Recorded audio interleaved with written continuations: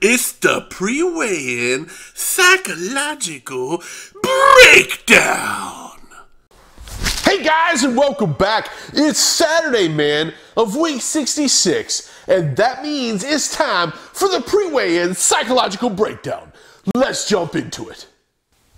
Thanks for tuning back in, guys. Here we are, man. Coming to the end of week 66, man. Finally Saturday. Uh, coming up on tomorrow's weigh-in, dude. And uh, you know, I got to tell you, this week um, was a little odd, dude, right? If you watch Wednesday's video, you know, coming off of uh, uh, the illness that I had uh, was a little rough for me uh, this week. Um, you know, as I stopped uh, my medication all of a sudden on Monday, um, you know, immediately the sinus stuff started to come back a little bit, but no drip this time, no, uh, you know, sick feeling, no, no, you know, none of that, no congestion, no chest congestion.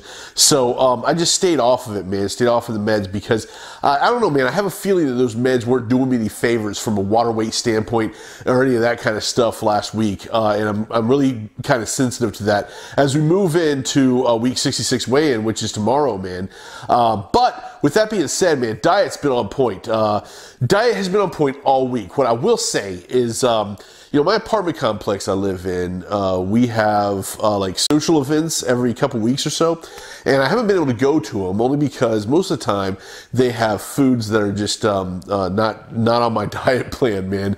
Uh, like hot dog socials, uh, pizza uh, parties, stuff like that. really wasn't working out for me, but this last Thursday, man. Uh, we had a chili cook-off, right? Uh, and chili, uh, while not super good for you, right, um, definitely is just uh, meat and beans and uh, vegetables and things like that.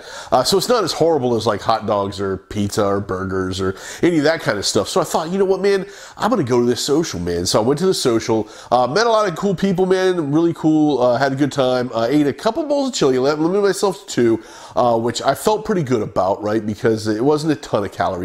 Um, you know, but that day I probably did cut into my thousand calorie deficit. So, uh, but for the most part, the diet's been on point all week, man. Uh, workouts have been on point all week. This has been a reload week, and I have definitely reloaded, man. Um, I was going to town. I, I, yesterday I blew my legs away.